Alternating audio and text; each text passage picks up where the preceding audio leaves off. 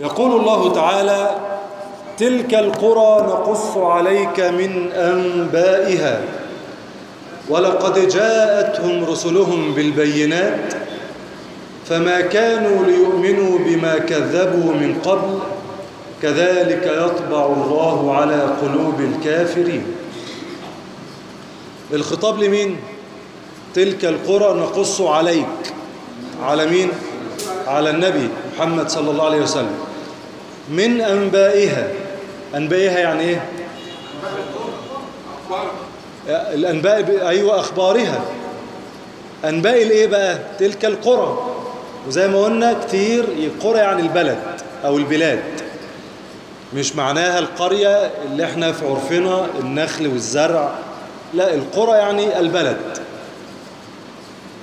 تلك القرى نقص عليك من أنبائها. طب ليه ربنا يقص على النبي صلى الله عليه وسلم أخبار الأمم السابقة؟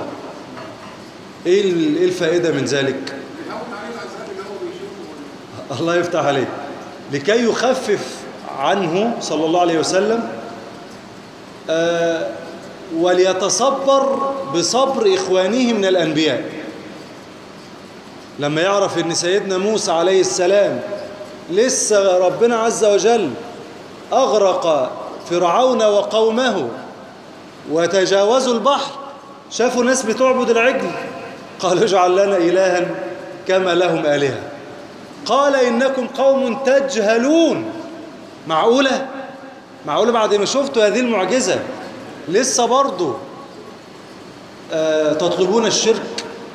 فده طبعا إيه؟ يصبر النبي صلى الله عليه وسلم ويعرف إن الأقوام السابقة برضو عاندوا وجادلوا أو يعني أصابهم بعض الجهل ونحو ذلك فيتصبر لذلك.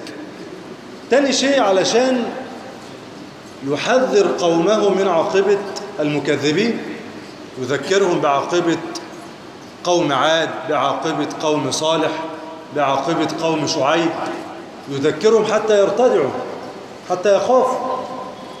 تلك القرى نقص عليك من أنبائها؟ ولقد جاءتهم رسلهم بالبينات. البينات اللي هي إيه؟ المعجزات. النبي بيأتي بمعجزة علشان تؤكد صدقه وأنه رسول من عند الله. ما ممكن أي إنسان يدعي النبوة. مش لازم يكون في معجزة خارقة شيء خارق للعادة. علشان يعرفوا أنه مؤيد من قبل مين؟ ربنا عز وجل. فما كانوا ليؤمنوا بما كذبوا من قبل. وجملة فما كانوا ليؤمنوا بما كذبوا من قبل عليها خلاف كبير بين المفسرين. بس علشان ما تنساش وتفهمها بسهولة كل ما تيجي تعدي على الآية دي وتقرأها اعرف ان بما كذبوا الباء هنا سببية. احفظ المفتاح ده. يعني إيه فما كانوا ليؤمنوا بسبب بما الباء سببية يعني بسبب ما كذبوا من قبل. برضو يعني إيه؟ مش فاهم برضو. يعني بسبب أنهم أتاهم الحق فكذبوه فعاقبهم الله عز وجل أن صرفهم عن الإيمان والهداية. وده ترجيح الإمام ابن كثير رحمه الله. وده الأقرب فعلا. فما كانوا ليؤمنوا ليه؟ ليه فما كانوا ليؤمنوا؟ عشان كذبوا أول مرة. كما قال عز وجل ونقلب أفئدتهم وأبصارهم كما لم يؤمنوا به أول مرة. الله يفتح عليك. فين السندوتش؟ كله كده شرب شرب. مفيش أكل. اسم السورة سورة الأعراف الآية رقم 101 صفحة 163 عشان تبقى قريب مني. سورة الأعراف سورة مكية ولا مدنية؟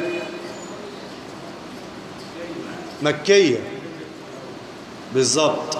ودي تاني سورة مكية تقابلنا وإحنا ماشيين مع بداية المصحف. كل الصور اللي قبل كده مدنية. بدأنا أول سورة مكية كانت سورة الأنعام وبعديها سورة الأعراف.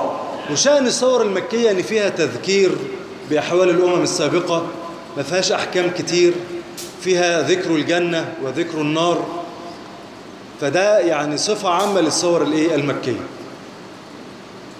يبقى فما يبقى زي ما قال الله ونقلب أفئدتهم ليه ربنا قلب الفؤاد؟ علشان ما أمنوش أول مرة.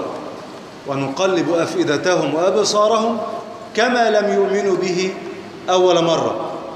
ولذلك شوف الآية ختمت بإيه؟ كذلك يطبع الله على قلوب الكافرين. يعني يختم على قلوبهم فلا يتأثرون بموعظة ولا ينزجرون بتوعد ولا يتذكرون ولا يؤمنون. ليه؟ اتختم على قلوبهم. ليه ربنا ختم على قلوبهم؟ لأنهم يستحقون. ليه يستحقون؟ لأنهم كذبوا بالحق. مفترض جاءك الحق ما تردوش عنادا واستكبارا تقبله. علشان ربنا ييسر لك الهداية. كذلك يطبع الله على قلوب الكافرين.